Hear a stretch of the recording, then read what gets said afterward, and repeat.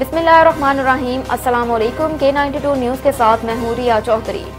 Bulletin में शामिल करते हैं आज की कुछ इलाकई खबरें। अकवा मुतहदा ने पाकिस्तान के लिए इंसानी इमदाद की अपील में पाँच गुना इजाफा कर दिया। अकवा मुतहदा ने इमदाद की अपील सोलह करोड़ डॉलर से बढ़ाकर इक्यासी करोड़ अस्सी लाख डॉलर की कर दी।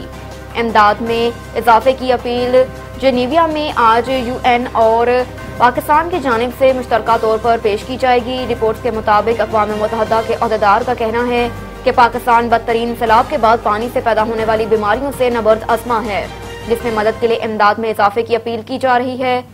पाकिस्तान के लिए अकवा मुतहदा रबता ऑफिसर जोलियन हार्नेस का जनेवा में ब्रीफिंग में कहना था कि सैलाब मुतासरीन मौत और तबाही के दूसरे मरहले में दाखिल हो रहे हैं। मुतासरा इलाकों में सेहत, गजा, पानी और सफ़ाई के कामों में जल्द हुकूमत पाकिस्तान की मदद ना की गई तो बच्चों की बीमारियों में खौफनाक इजाफा होगा।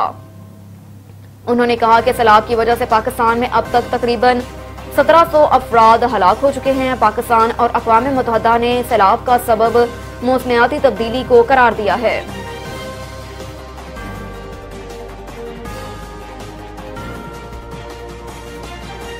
पाकिस्तान ने जिन पॉलिसी महत्व पर इतफाक किया, वो अब भी लागू हैं। आईएमएफ ने वाजिया कर दिया। आईएमएफ की इस्लामाबाद में नुमाइंदा एस्थर पेरिस का कहना है कि पाकिस्तान हुकूमत ने सातवें और आठवें जायजा प्रोग्राम के लिए जो पॉलिसी माहदे किए, वो अमूर कायम हैं। एस्थर पेरिस ने कहा कि मैक्रो इकनॉमिक इस्तेकाम बरकरार रखते हुए सलाब मुतासरीन के लिए मावनत का अमल तबाहकारी का जायजा लेने के बाद शुरू होगा वज़ीर आज़म को हाजिरी से मुस्तकिल इस्तनसा मिल गया। लाहौर में एहतसाब अदालत ने मनी लॉन्ड्रिंग रेफरेंस में वजी अजम शहबाज शरीफ की हाजिरी से मुस्तकिल इस्तनसा की दरख्वास्त मंजूर कर ली। लाहौर की एहतसाब अदालत के जज कमरुलजमान ने मनी लॉन्ड्रिंग रेफरेंस पर समात की, जिसमें वजी अजम शहबाज शरीफ की केस में मुस्तकिल हाजिरी मुआफी की दरख्वास्त पर भी समात हुई। अदालत ने वजी अजम शहबाज शरीफ की मुस्तकिल हाजिरी मुआफी की दरख्वास्त को मंजूर कर लिया। और शहबाज शरीफ को अदालत में पेशी के लिए नुमाइंदा मुकर करने की इजाज़त दे दी। अदालत ने हमजा शहबाज की मुस्तकिल हाजिरी मुआफी की दरख्वास्त पर नैब से जवाब तलब कर लिया और उनकी एक रोजा हाजिरी मुआफी की दरख्वास्त मंजूर कर ली।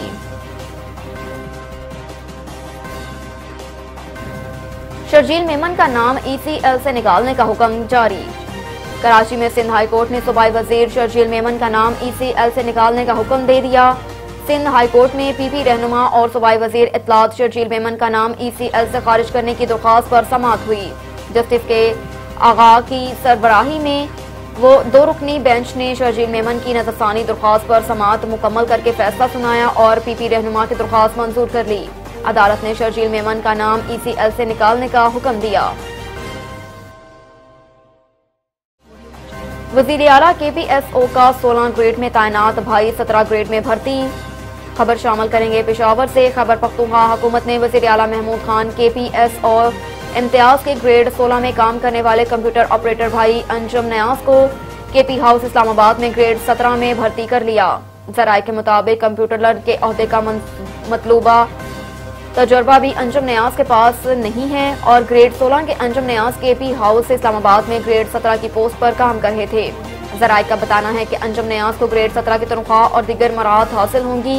वो पहले गोमल यूनिवर्सिटी में बतौर कंप्यूटर ऑपरेटर काम कर रहे थे और उनको डिपोटेशन पर सीएम सेक्रेटरीट और फिर केपी हाउस इस्लामाबाद में इंचार्ज तैनात किया गया था। पुलिस के मुताबिक यूनिवर्सिटी मुलाजमीन डिपोटेशन पर दिगर महकमों में तैनात नहीं हो सकते, जबकि गवर्नर खैबर पख्तूनख्वा ने भी यूनिवर्सिटी मुलाजमीन के दिगर महकमों में डिपोटेशन पर पाबंदी आयद कर रखी है। जराये के मुताबिक वज़ीर अला के पी एस ओ इम्ताज के भाई को भर्ती करने के लिए सर्विस रूल्स में तब्दीली की गई और 10 साल की एज रिलैक्सेशन भी दी गई। जराये के मुताबिक वज़ीर अला खैबर पख्तूनख्वा के पी एस ओ ने अपने भाई को के पी हाउस इस्लामाबाद का कंप्यूटर तैनात कर दिया। अब्दुल कदीर शाह की रिपोर्ट के मुताबिक सैद मुराद अली शाह की उलमाए कराम से बारह रबी के इंतज़ाम के हवाले से अजलास वजी अला सिंध ने तमाम उलमाए कराम को खुश आमदीद कहा। हम हर साल बारह रबी अव्वल के इंतज़ाम के हवाले से इजलास करते हैं। हम कोशिश करते हैं कि रबी अव्वल के जुलूस के रास्तों की सड़कें और नकासियाब ठीक हों। मैं मुख्तलिफ़ सोचो, फ़िक्र के उलमा का शुक्रगुजार हूँ कि उन्होंने फ़रका वाराना हम आंगी को फ़रोग दिया। सिंध ऐसा सूबा है जहाँ मोहब्बत एक दूसरे की इज़्ज़त और एहतराम का ख्याल रखा जाता है। सिंध को अमन, अमान का गहवारा बनाने में तमाम अकबा फ़िक्र के उलमा कराम का अहम किरदार है। उलमा ने रबी अव्वल के जुलूस के हवाले से अपनी तजावीज़ भी पेश की।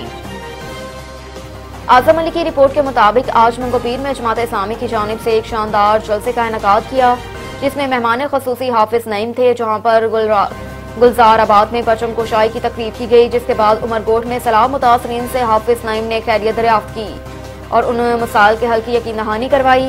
बाद में गर्म चश्मा के एम सी हस्पताल ग्राउंड, जहाँ पर एक शमूलियाती प्रोग्राम किया गया, जहाँ पर अकलीती बरदरी से ताल्लुक रखने वाले सिख बरदरी के सरदार पनो सिंह रवि सिंह और बचार सिंह ने अपनी पूरी बरदरी के साथ जमात इस्लामी में शमूलियत की।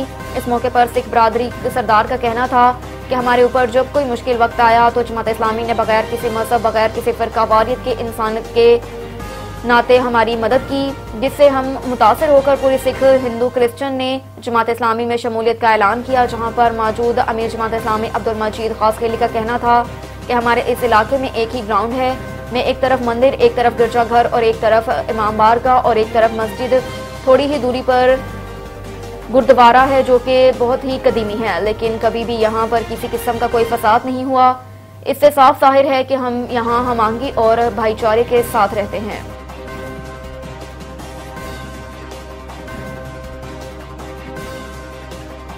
अंजुमन मोहबान आला हज़रत के तहत अजीम आलिशान मेला रैली निकाली।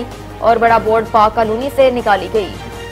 मिलाद रैली सरकार की आमद मरहबा, मदनी की आमद मरहबा से फसा गूंज उठी। मिलाद रैली में पाकिस्तान सुनी तहरीक के मरकज रहनुमा मोहम्मद शाहिद गौरी, आलमी रूहानी स्कॉलर सैद मोहम्मद अली शाह, इलामा डॉक्टर जमील राठौर, पाकिस्तान सुनी तहरीक मरकज रबता कमेटी के रुकन फहीमुद्दीन शेख, अंजुमन नौजवान इस्लाम के सरबराह मोहम्मद सलीम अतारी और अंजुमन मेहबान आला हज़रत के चेयरमैन मोहम्मद वसीम अतारी ने खिताब किया। मिलाद रैली से खिताब करते हुए मोहम्मद शाहिद गौरी का कहना था कि दुनिया में सऊदी अरब, शाम, इराक, तुर्की, अफ़गानिस्तान को इस्लाम का किला नहीं कहा जाता। इस्लाम का किला सिर्फ़ पाकिस्तान को कहा जाता है, इसलिए कि यहाँ आशिकान रसूल बसते हैं। जो नबी करीम सल्लल्लाहु अलैहि वसल्लम की हरमत के तहफ़ के लिए तन मन धन सब कुर्बान करने का जज्बा रखते हैं। ईद मिलाद नबी सल्लल्लाहु अलैहि वसल्लम हमें अल्लाह की रस्सी को मजबूती से थाम कर, अमन भाईचारगी और एहतराम इंसानियत का दर्ज देता है। सरकार दो आलम का योम वलादत मनाने वाले ही दुखी इंसान की खिदमत में पेश पेश हैं।